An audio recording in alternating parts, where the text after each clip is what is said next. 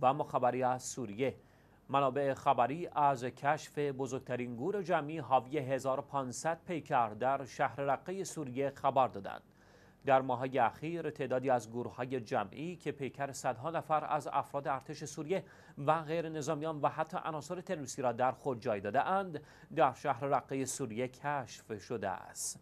به گزارش شیعه ویوز در همین راستا روسیه الیوم تصاویری از کشف بزرگترین گور جمعی در شمال غربی رقه سوریه را منتشر کرده است.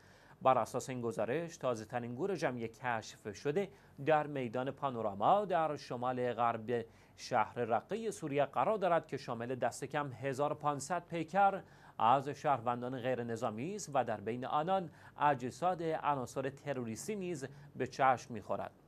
به گفته کاشفان این گور دست جمعی این اجساد در زمان محاصره شهر رقه به صورت شتاب زده در این محل دفن شدند. یادآوری می شود شهر رقه سوریه پایتخت خلافت خودخوانده سنی های تندروی داعش پس از چهار سال اشغال به دست تروریست در مهر ماه سال 96 شمسی آزاد شد.